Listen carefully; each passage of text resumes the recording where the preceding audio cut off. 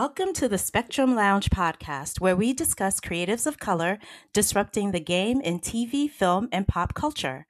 I am your host, Rebecca Theodore Vachon, and on this episode, we chat with actor Jake Choi, star of the ABC hit comedy series Single Parents. Hi, Jake. What's up, Rebecca?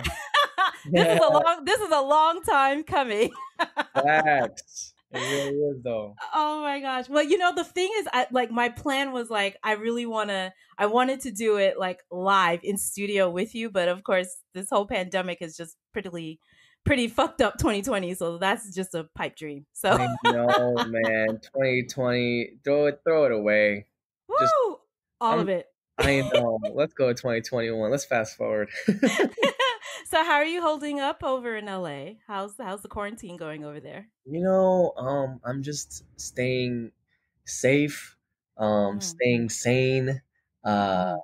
you know, um, like eh, I'm I'm I'm I'm a homebody. I'm kind of antisocial to begin with. Um, so at first it was okay, but like now it's like God, like I would love to just go to a cafe or go to the beach or something, you know. So right. just keeping occupied. Um, uh, trying to develop uh, projects as much as I can right now. And, mm-hmm. You know, uh, just catching up on reading. Um, uh, I got back into um, um, reading um, plays because uh, I was slacking on that front. And oh.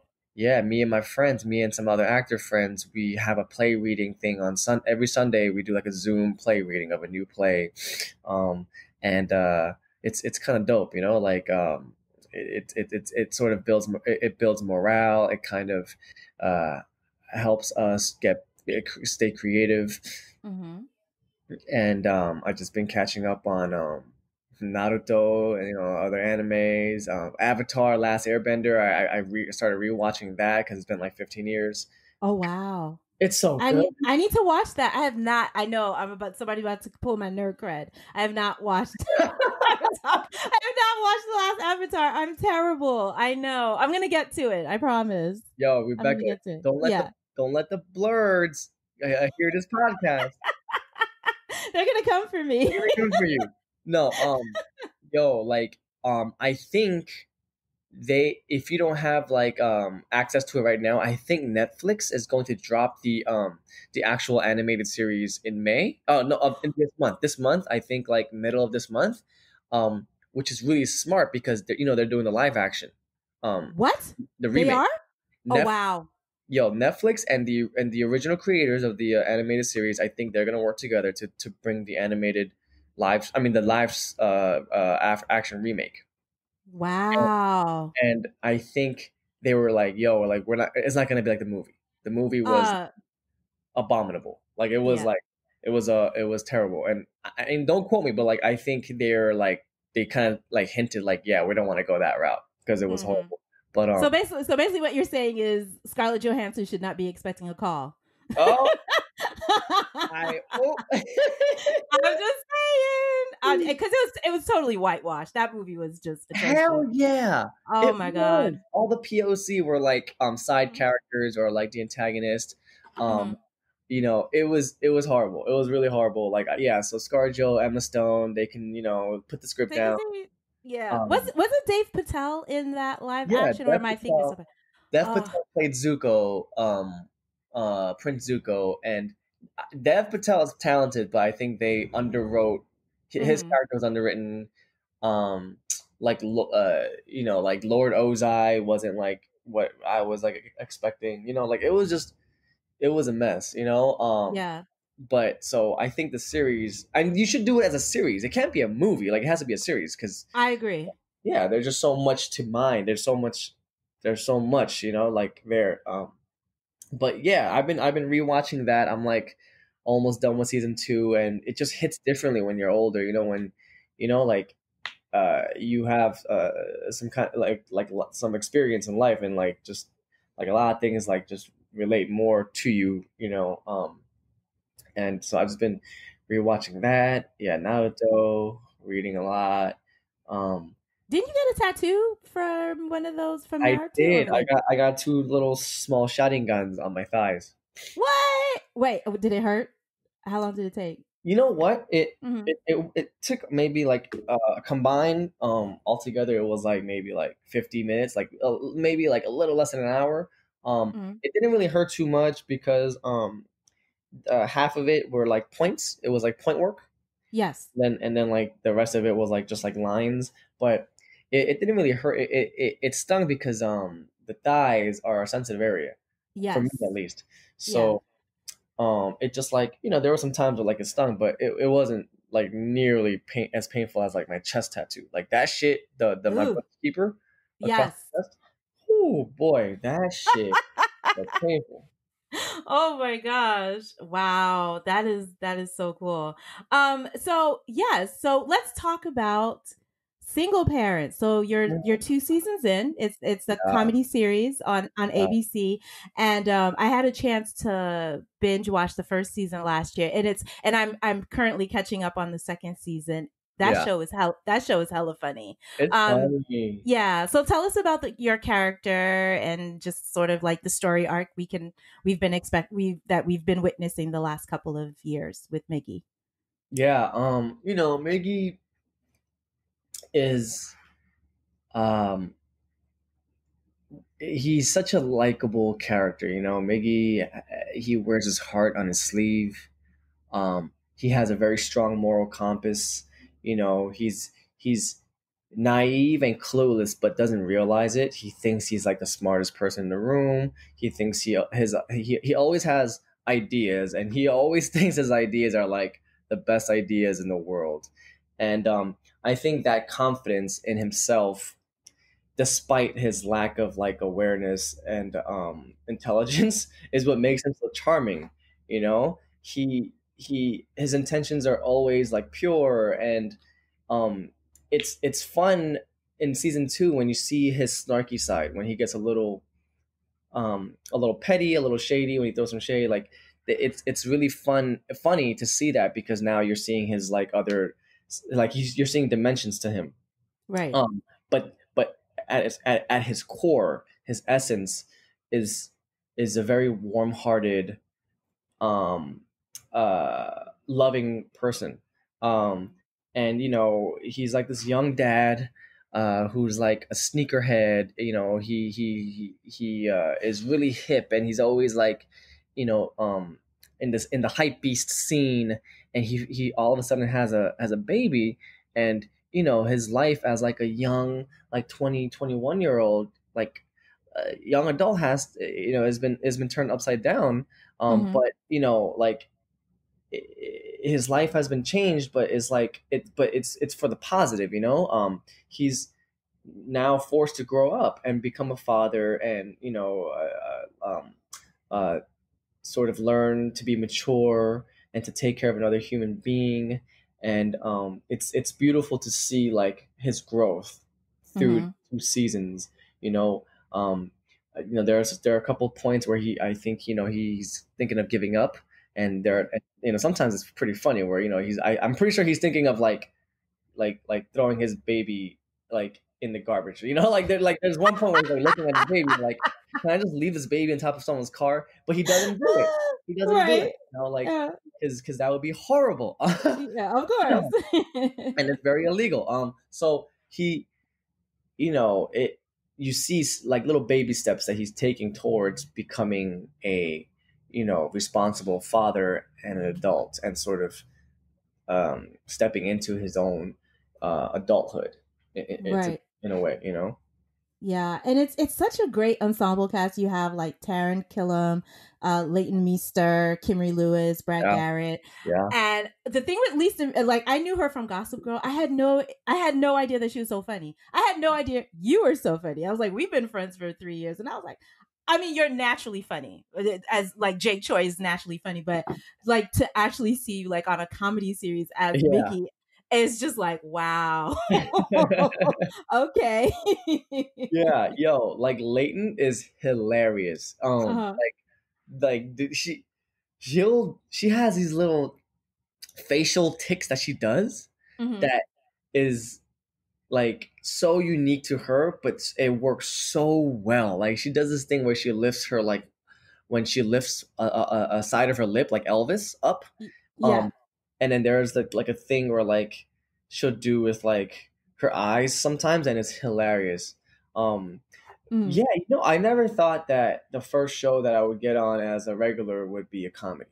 I, like I, I never thought that. I thought at most maybe like a dramedy or a dark comedy, maybe on like a Barry kind of thing, mm-hmm. or like mm-hmm. Orange is a New Black kind of like tone. But like I never thought it'd be like a prime time like you know half hour sitcom.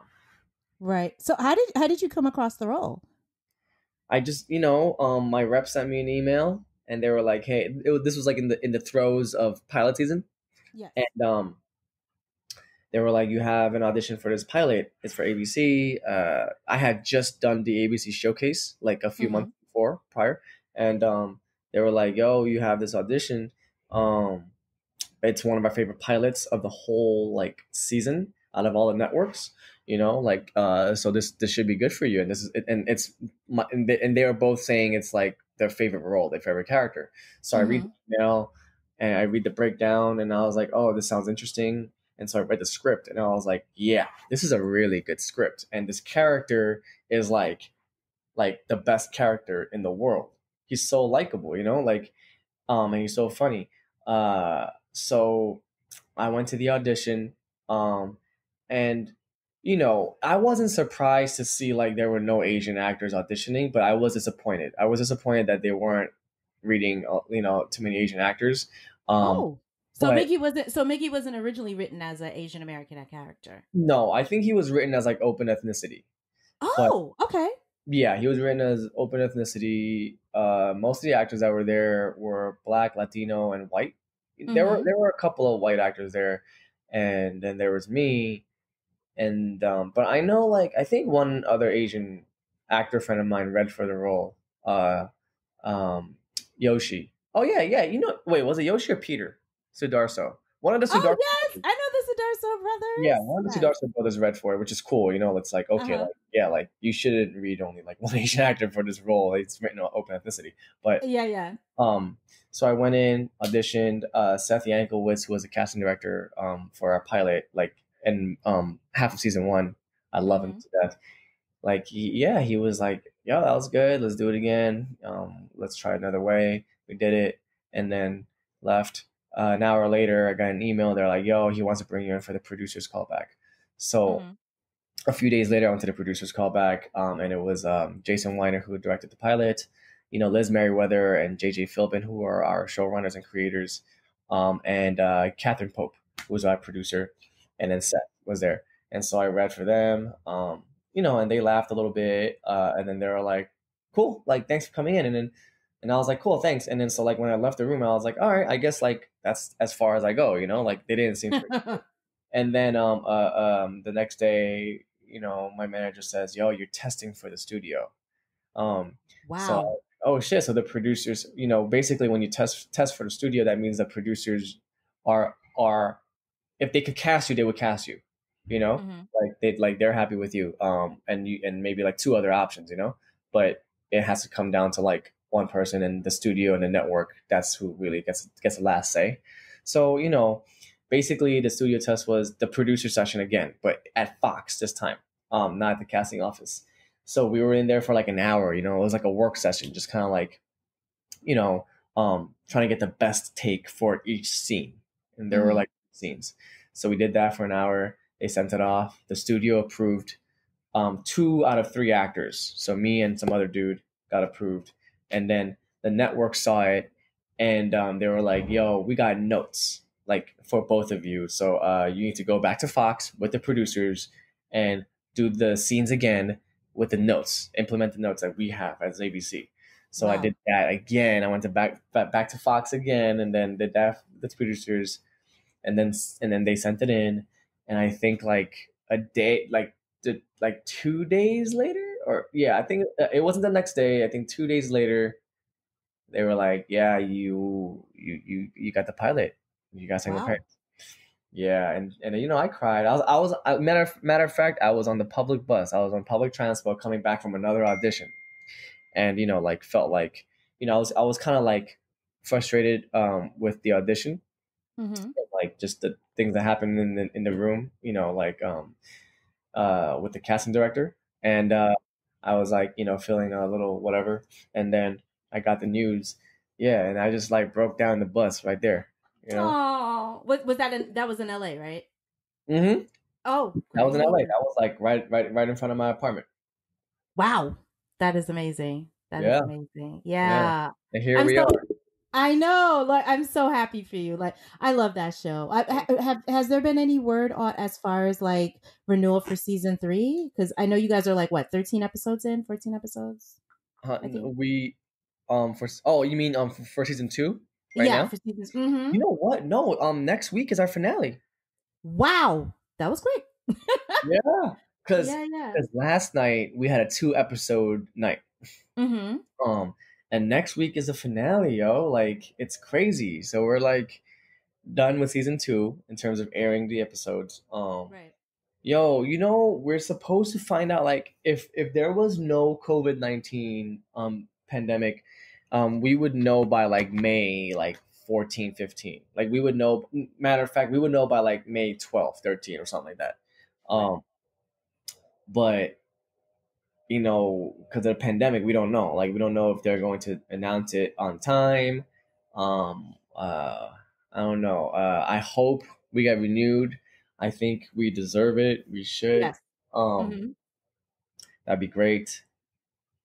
You know, and I think, and and I really want a third season because I feel like, uh, you know, with in in regards to Miggy, I think he got some development, but he got the least amount of development out of all the the adult parents. So I feel like in season three, like he he will most likely like get a huge arc or arcs, you know, like within the season. Um, and I think you know, hopefully, like Zara gets introduced, you know, in season three, um, his baby mama. So, oh, we haven't met the baby mama yet. Okay. No, we haven't like seen her yet. Okay. Okay. Yeah, so that would be nice, you know, to get a third season and like really like see him, you know, um get fleshed out like really really well, you know. Right. Well, you know, I I'm I'm I'm rooting for an Asian American actress for the baby mama. Not that I have anything against, you know, interracial relationships, but it would be nice. It would nice nice to oh, see yeah. like, a, I mean, a young Asian American couple trying to figure out like this non-traditional style of parenting. I think that would be cool. Oh, absolutely. Like, you know, uh, there's no question about it. Zara, I mean, the baby looks like he's Asian, like non-mixed Asian, you know? Like it wouldn't make sense for Zara to be not Asian, you know?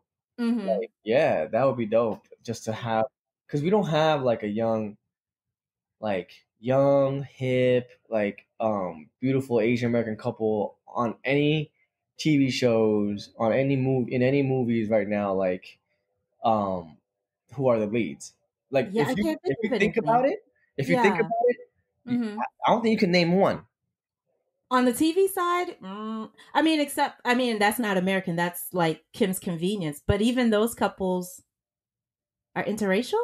Yeah, because Simu Liu's Simu Liu's character is with in an interracial relationship. Exactly. The sister, she is kind of like in this love triangle where the boyfriend was South Asian. Um, her ex was like a he's a doctor, and then she's kind of dating another guy. I think he's white. I could be wrong. I'll have to I have to go back.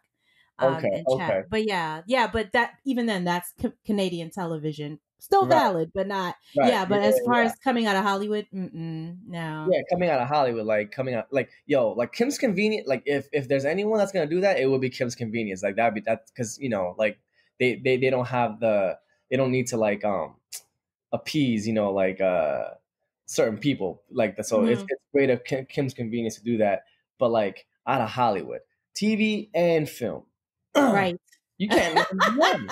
You can't name one. All we got was crazy. We got crazy rich Asians. That's what's been holding us down for the last couple of. It was just like, oh my god, to like actually see like Asian couples like in love yeah. and like you know, it's just at least out of the Hollywood system, it's it's so rare. That's unfortunate, but yeah, yeah.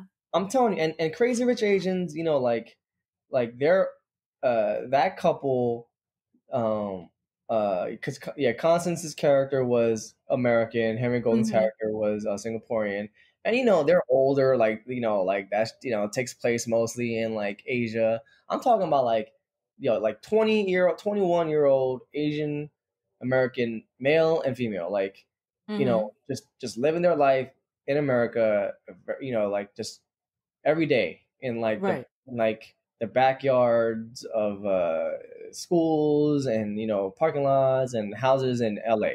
Like not one, and you know like like like attractive and like um, but also a mess. Like you don't yeah. have none of them. None it's very rare. Like I know that Netflix just had uh that teen series Never Have I Ever. Um, and the, the the lead actress is a South Asian um, actress. I think she's from Canada. Actually, is she from Canada or American? I forget.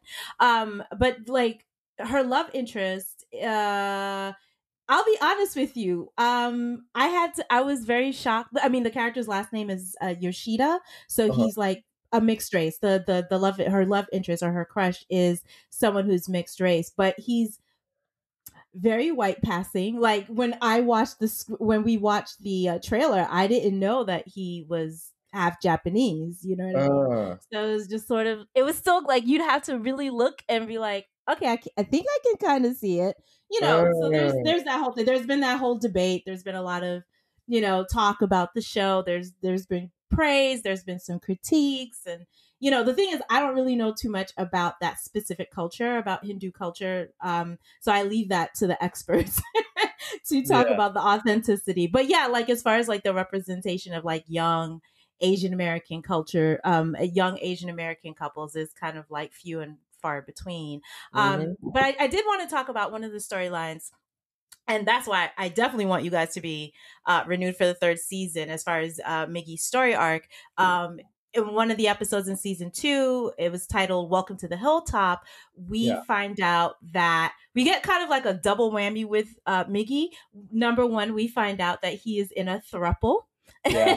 so originally we knew he was dating uh, the teacher, uh, the the second grade teacher um, that's on the show, and then we find out that Miggy and his girlfriend have actually went on a uh, dating app. What was the a dating app called? I think it was Bed Bedmates or something like that. And then oh um um uh uh, Big Bed was it Big Bed? Big Bed, Big Bed, yeah. So it was a big, it was a dating app, and so Miggy and his girlfriend actually found another man to bring into the relationship, yeah. and so that was fascinating to me because um you know number one usually when we see the representation of you know triads or thruples the default is usually a man and two women usually the two women yeah. can be like queer or straight or whatever yeah. um and but like this kind of representation, I was just like, wait. And they're all dating each other. So it's not like Miggy and the other guy are like have, you know, like everybody. Like we also find right. out that Miggy is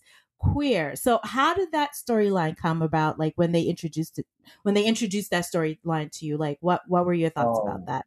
So um one day uh we were on set um at Fox and our showrunner JJ, she, you know, she was visiting us um, from the writers' room, and um, I think we had just finished like um, uh, a scene, and we were, uh, you know, just kind of like chilling. And JJ was like, "Yo, Jake, uh, can I ask you a question?"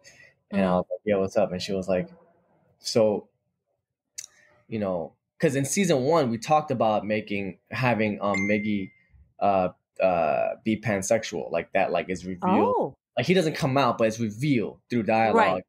mm-hmm. um and but we never uh, but i guess they didn't have the um like the the space like the like the the the like a chance to do it so mm-hmm. Season two like like early middle season two we're shooting season two. She was like yo i want to i want to um do the pansexual you know storyline for miggy. Uh would you be okay with that? And i was like yeah of course.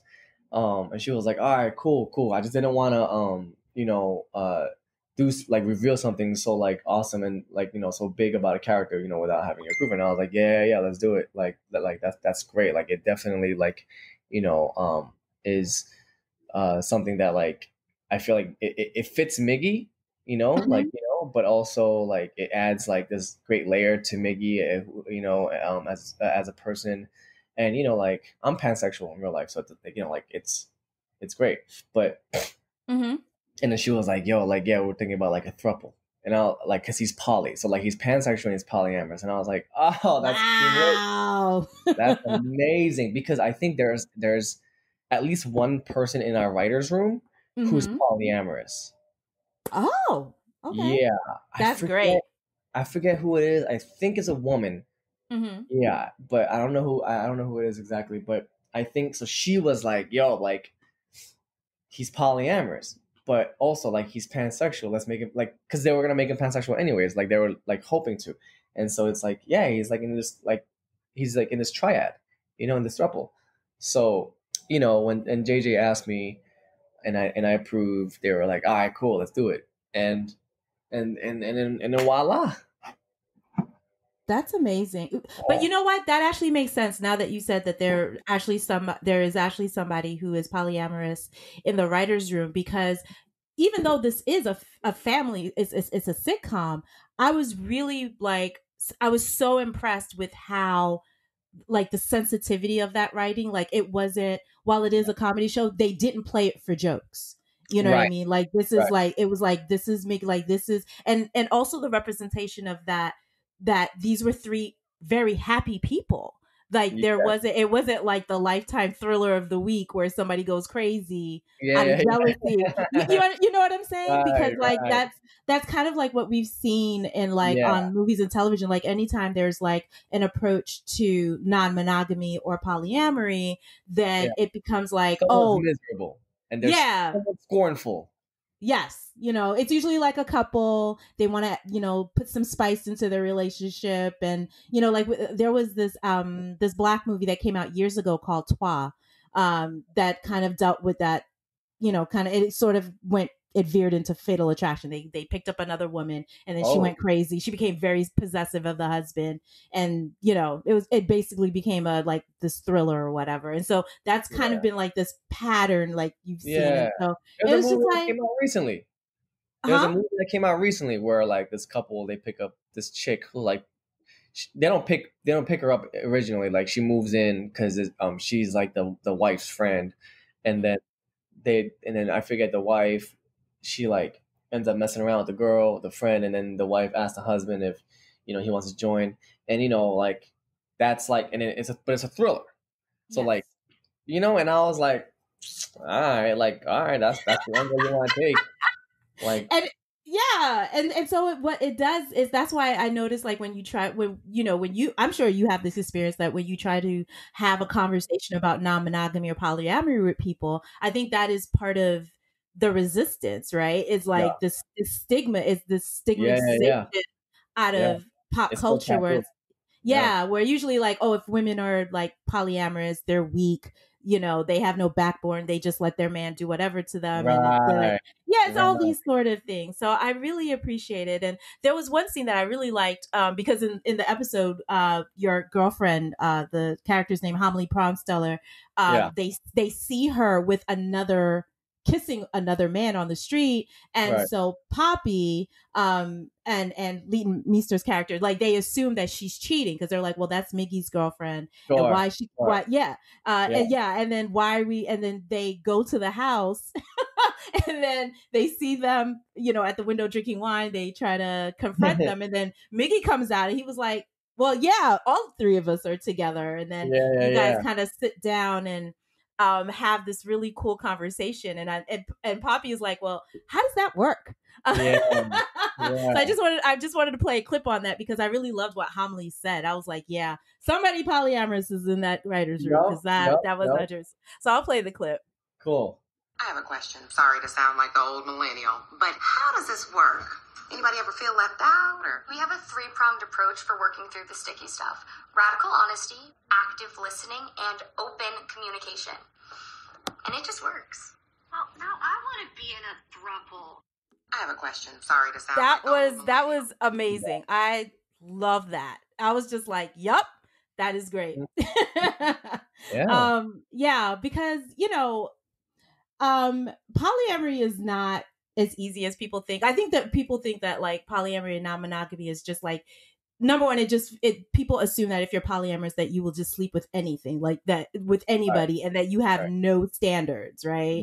Right, right? Um, so there's one that, and then number two, there's this idea that if you're polyamorous that it, it you're you're greedy like you're double dipping triple dipping quadruple right. dipping and that yeah. there are no like guidelines like like monogamy has more structure and that polyamory isn't so like in your personal experience being a polyamorous person what would you say to someone who may have these stereotypes or these or these ideas about polyamory um you know every um couple, every partner is different in what they what they want and need. But I think also what's really important is that like what people want and need change all the time. So mm-hmm. I think that is something that like if you understand that about yourself and other people, it would save a lot of like stress and fighting and grief, you know, you know, and I think communication saves a lot of that too. But it's like a lot of people tend to be like, okay, fine, like these are the rules and this is set and like it's set in stone and like, okay, like this is what we're gonna go go forward with. And if someone like, you know, changes their, you know, like just kind of like feels like, okay, like that this isn't what they wanted, maybe they want something else, and they bring it up, I feel like a lot of people will be like, no, but you said you wanted this, right? Or like, didn't you mm-hmm. say, you know? And I think and sure that that's that applies to monogamous relationships too but i think with polyamorous relationships it's even more sensitive because you're including an, other people into the relationship. So I, I think that is something that people should be mindful of. Um also uh yeah like just communication is so key obviously. Um and like it's not like sure there are people who use the term poly to like go out and just like you know um, sleep around but mm-hmm. there are a lot of people who don't do that there are a lot of people right. who who it's it's it's deeper than that it's not always about just like sex it's it's physical it's emotional you know it can be mental like you know some people might actually like have a ha, just want like an emotional connection that you know they might be lacking with some you know with uh, their partner and that it just and they're just not the other partner is just not capable of right. giving that kind of like supportive connection, which is okay. Like not everyone can be everyone else's like you know um, emotional support the way they want them to. Um, and it's like nothing wrong with that. Like I have a friend, um, and she has been with her her boyfriend for like over ten years. And wow, I remember, I remember her telling me this. I remember her telling me this recently, like maybe in the past few years. She was like, "Yo, so recently, you know, um, my boyfriend, uh, we had a talk where I told him I was like, you know, uh, you you're you're very busy doing your work, and I love you for that. You take care of our, you know, of his um, of of her son because he's like the stepdad, uh, and um, you know, but she she was like, you know, you know, I have a high sex drive, and um, I just feel like I'm not being satisfied like sexually, you know, which is not your fault. It's just you're you're busy working, but you know, like I, I I'm I'm feeling frustrated.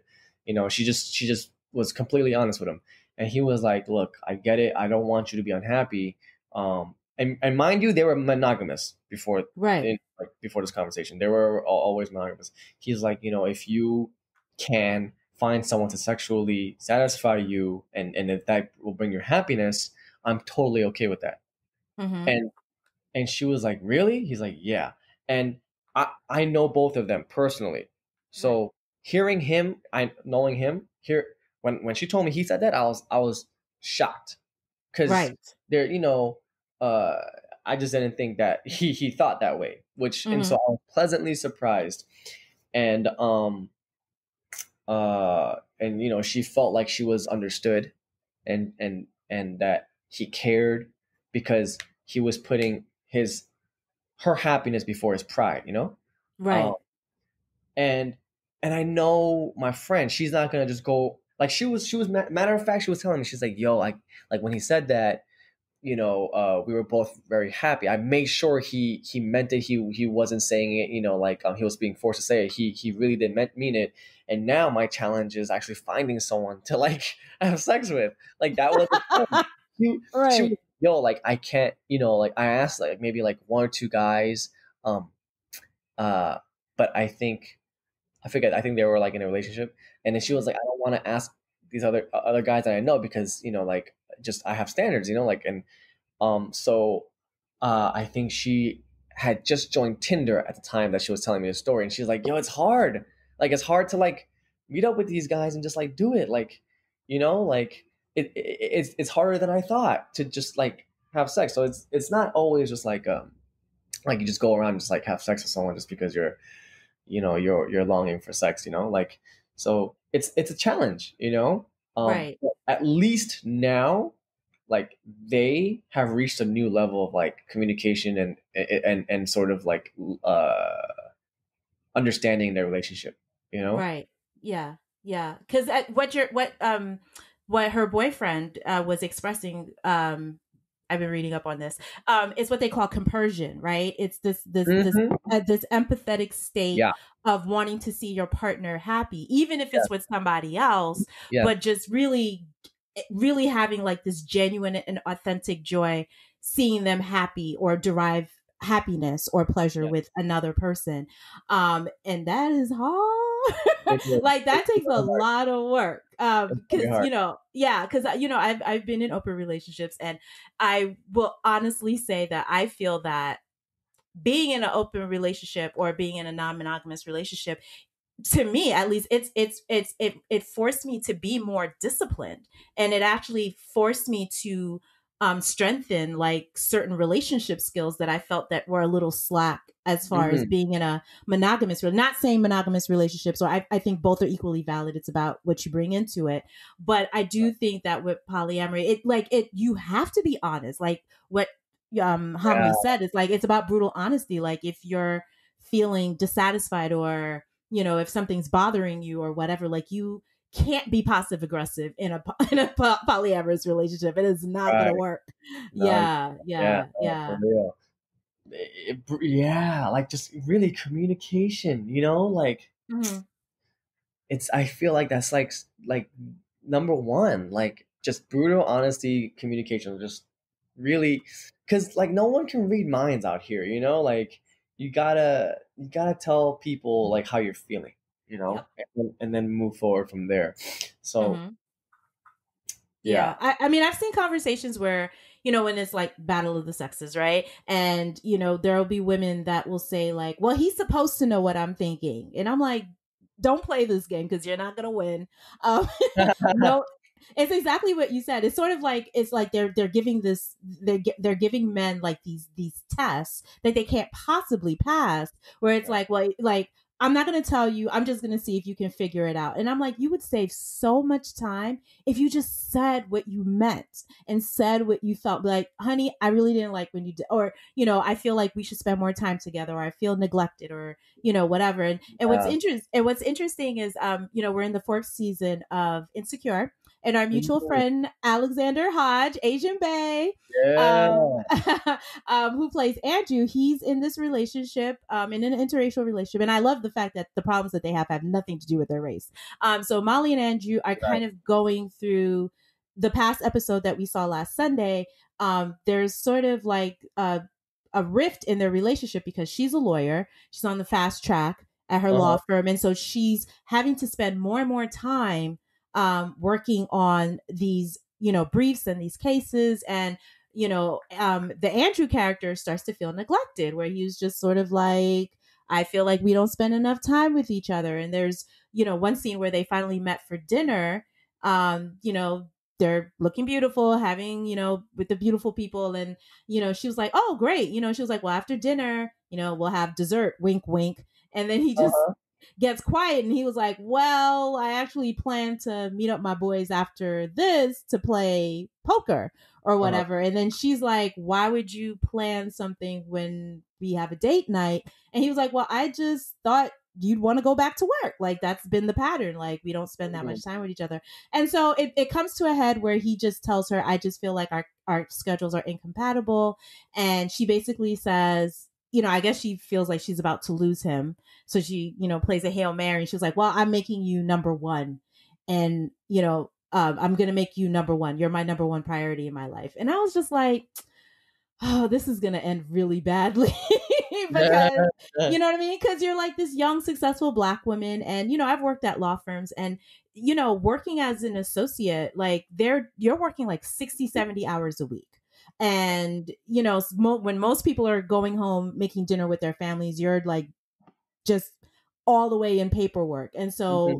that demands that. And so I can kind of see there's there there's going to be a it's going to come to a head where there she's gonna start resenting him where it's like oh yeah. okay you know what i mean and yeah. i was just i was just watching this episode and i'm like there's an easy solution to this. Have an open relationship. Like let this man go see other people right? Because what it does is it it, it frees her up to devote the time she needs to her career yeah. and then it allows andrew and if she wants to see other people that's fine.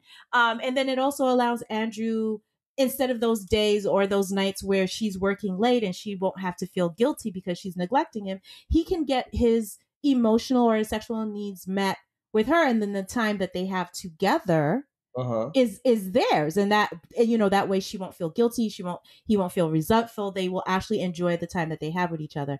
Well you know of course i suggested that and people were like uh. It was like yeah. crickets in the room. They're like why would you suggest something like that? And i'm like all right. People i think people are still too like you said earlier it's stig it's stigma it's taboo. And people are still um too used to too comfortable with this traditional idea of just one person to another person. Mm-hmm. you know like um it it upsets the like the common culture. You know like it upsets it it forces people to what you said force them mm-hmm. the reason why they kind of want to shut you down is because it forces them to like think outside of like what they're used to like the, like their quote unquote norm and right. it made them uncomfortable um i think they're still I, I wonder if it's you know still like a lot of his jealousy and and and and um like uh, is a feeling of you own the other person, you own your partner. It's like the property, like you can't share. You know, yes, the that's, ownership. Mm-hmm. the ownership, you know, and you know, obviously not all monogamous relationships are like this, but I feel like the people that react in a negative way to polyamory mm-hmm. kind of have that um, mentality where yeah. the other person their happiness is their true their happiness is not the first priority it's mm-hmm.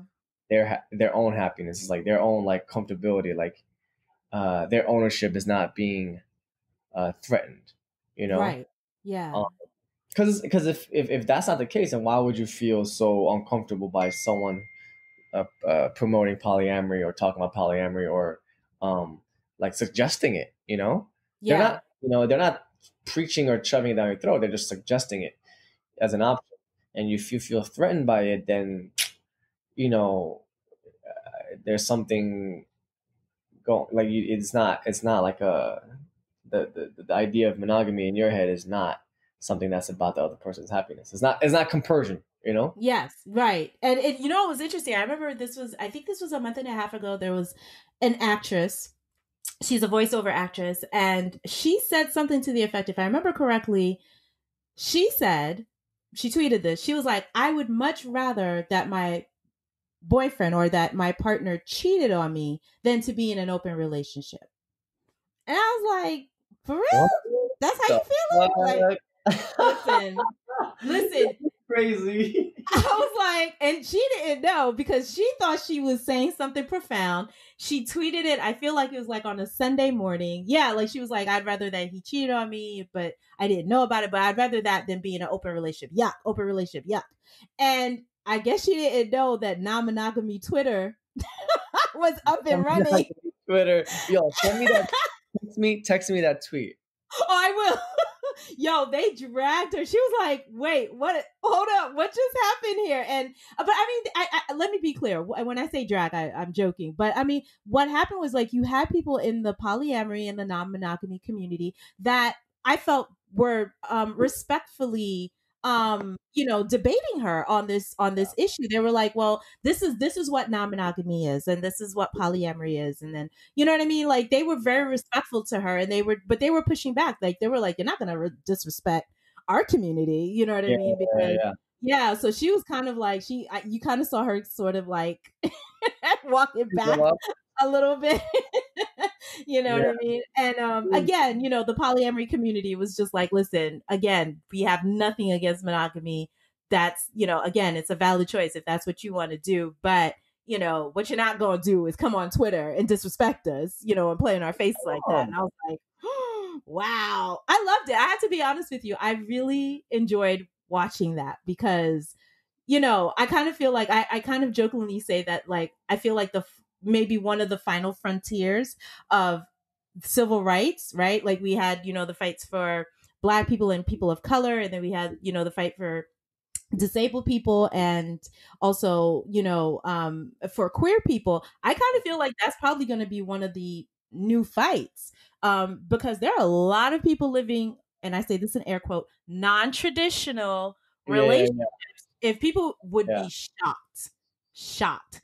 I'll show Yeah. you a happy monogamous looking couple and I'll tell you what they've got on their calendar. You'd be shocked oh what they have Yeah. going on. Yeah. So it's just sort of like so I kind of feel like that's gonna be like the new thing where people will fight for the rights for three people to be married. You know what I mean? Or if or if it's a, a what is it, a quadrangle, right? Yeah. Or four people where it'll just be like because Uh-huh. right now, yeah, because the state the, it has to be between one man or woman or it has to be two parties. And now it's gonna be like, no, we wanna and and I don't think it's because I think some people get polyamory and polygamy mixed up a little bit. Like Right, there's, right. there's there's some It's different. crossover, but it's different, right? Yeah, Yeah, it's you know what I yeah, yeah. mean. And so it's like Yeah. like what you're what you're with Miggy's situation in single parents. That's not polygamy. Like at least I don't think so. Yeah, That's polygamy polyamory. is marriage of um. I think Mhm. it's it's is marriage of multiple people.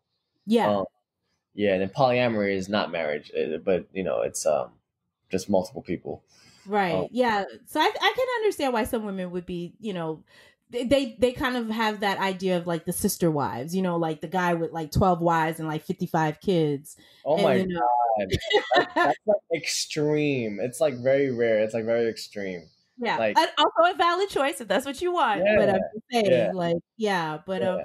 But I did want to ask you because I know when we met, ooh, what was that? Like 2016, I feel like we met.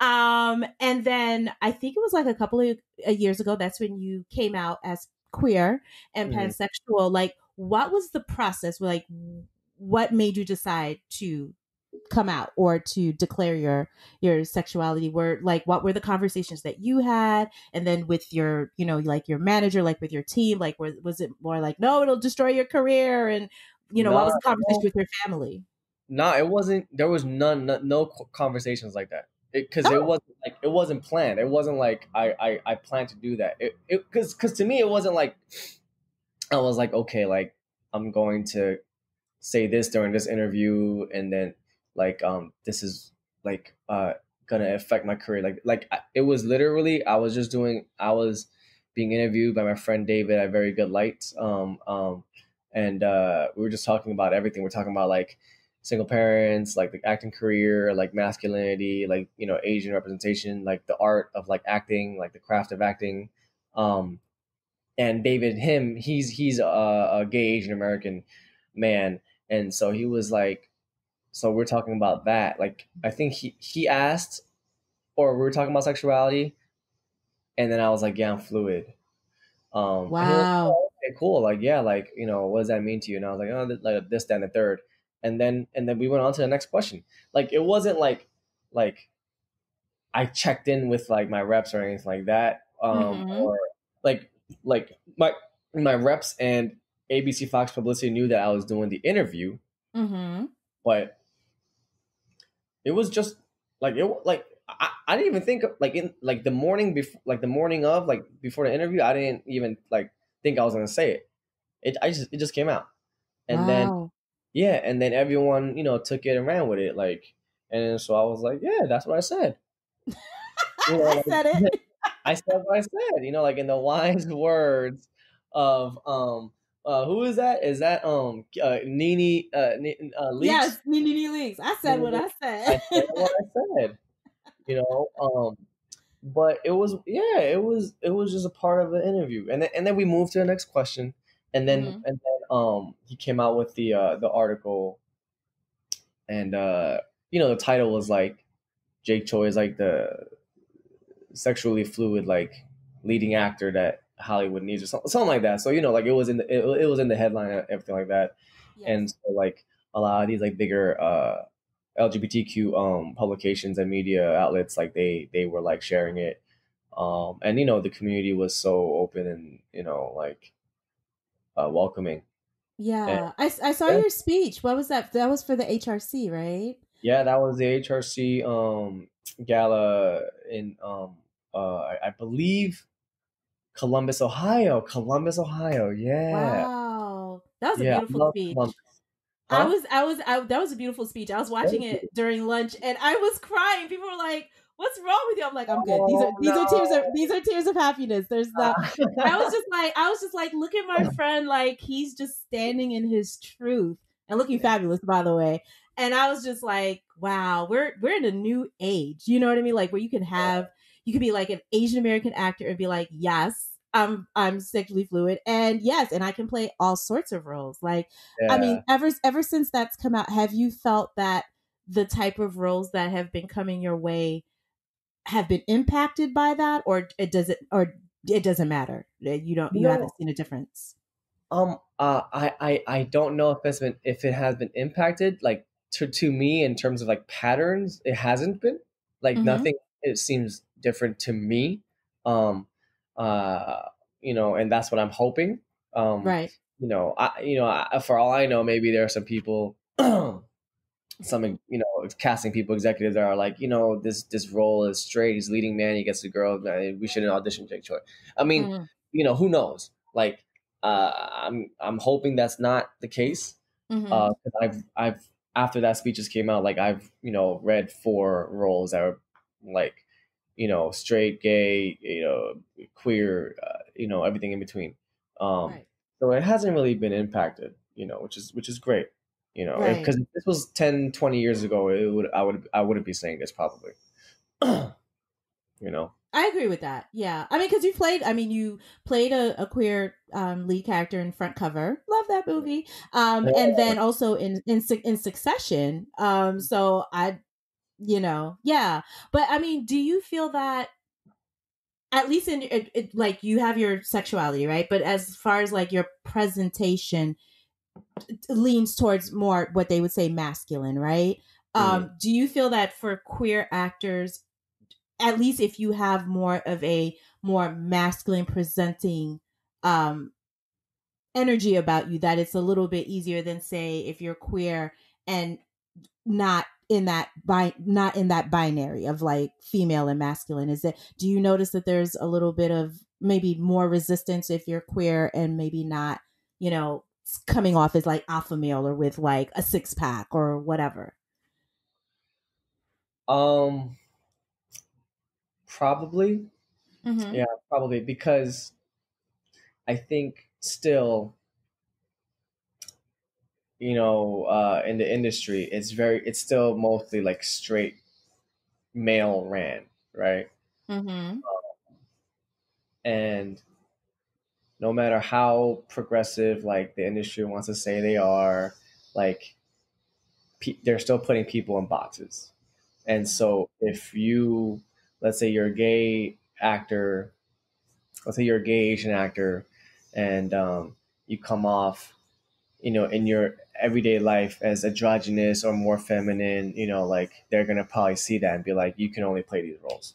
Mm. Even though you're an actor and you know your job is to act and be a chameleon and you know um uh uh portray roles, different kinds of characters, human beings, they're gonna be like, no, like this is your energy, this is your image so like you're going to you you know it doesn't matter how good of talented of an actor you are, you're just going to play these roles. Right. And, um, you know, hopefully that changes. Uh, I think it's changing little by little, but you know, like look at um who's the the, the very famous gay actor um that was on Suits, uh, Matt Bomer, right? Yes, Matt Bomer. Yeah, yeah. Mm-hmm. He's gay. He's gay. Mm-hmm. He's and he came out like he's been he's been out, right? But Right. like, you know, and but I didn't know he was gay until someone told me, like, because Ah. like his his he comes off as very like you know like leading man, kind of like this like I, I you know I'm not gonna say alpha male because I don't know him like that, but like right. his roles are very like you know masculine, and there's nothing wrong with that. There's nothing wrong with that. Like that's Mhm. him. That's his prerogative. But like, if you if if he wasn't like that, like would he be playing these roles? You know, still, you know, like I don't know. That's some that's that's a question that I gotta ask.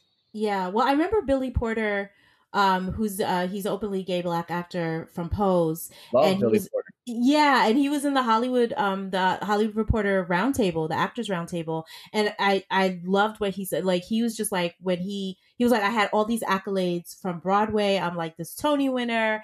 He's great actor, beautiful voice. You know what I mean? And then he comes to Hollywood, and he was like he just hit a dead end. He was like it was like audition after audition after audition, and they were it basically came down to you're not butch enough to play like these male lead roles. And he was like but i'm an actor. Like i can you know what i mean? I can i can Exactly. do whatever. And so he was like it really wasn't until pose right a show that was like co-created by uh you know afro-latino queer man and um steven canals. Shout out steven. Yeah, yeah.